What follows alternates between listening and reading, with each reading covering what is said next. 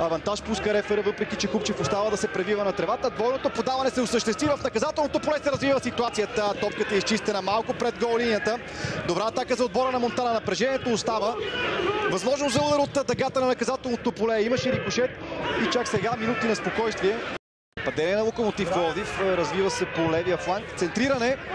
Лошо изчистена топка. Христо Иванов със сетни усилия успява да се справи един от постоянните футболисти. Крушарски безспорно направи много за Локомотив Пловдив. Сега обаче в 12-та минута Иван Минчев прави непростим пропуск. Получи топката необезпокояван, абсолютно непокрит, доста лежерно. Макините. Ето го подаването на Здравко Лазаров към Иван Минчев и негови удар от движение. Не можа да намери както трябва топката, иначе Ясин Елхаруби щеше да остане безпомощен. Христо Иванов беше излязал напред за малко да бъде прехвърлен. Аплодисменти от феновете на Локо Пловдив за отиграването на Крум Стоянов. Дигна главата левия защитник на Локо Пловдив с вътрешната част на ходилото пробва да изненада Христо Иванов, който беше напуснал гол линията. Началните 10 на 12 равностойни минути сега определено Локомотив Пловдив по инициативата. Хубаво центриране, изстрел с глава в аут. Емил Гъргоров се ядосва.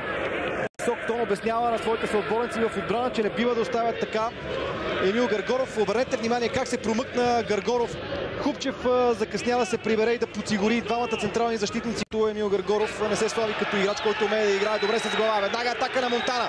Ситуация в наказателното поле. Успореден пас на голинията. Ясин Елкороби спасява двама футболисти в изгодна позиция за Монтана. Един от тях Здравко Лазаров изживява тази ситуация. Вижте още веднъж как Йордан Тодоров не можа да намери нито Бълджийски, нито Здравко Лазаров. От защита в атака и завършващ удар. Ето такъв да речем. Не точно е това изпълнение на Мичев. Искаше да завърши с гол. Щеше да бъде страхотен подарък за 30-ти му рожден ден. Още веднъж с самото поемене на топката. Тя стана удобна за него, за директен удар.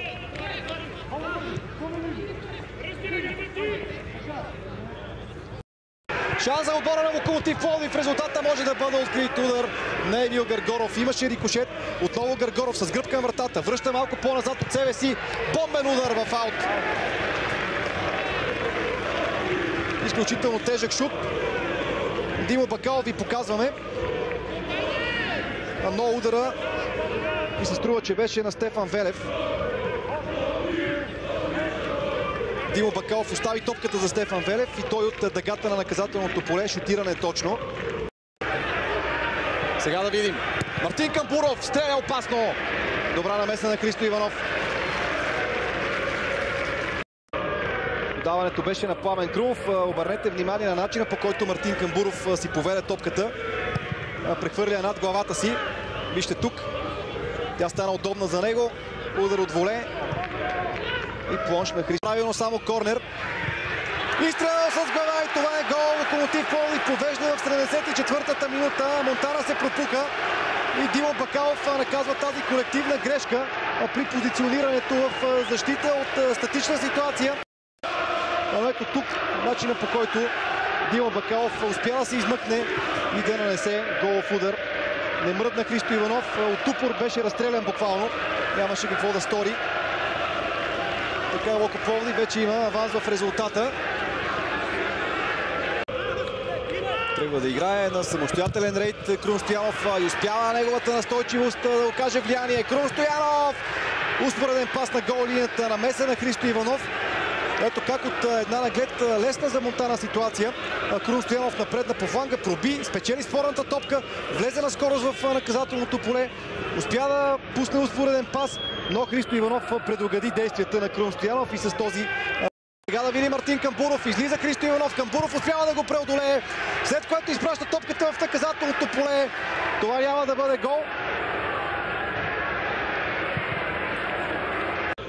Още веднъж нямаше засада. От дълбочина изкочи Мартин Камбуров. Уся да стигне пръв до топката с глава, след което я изпрати в наказателното поле, където Зоран Балдовалев не можа да овладее както трябва. В добра позиция беше и Илян Йорданов.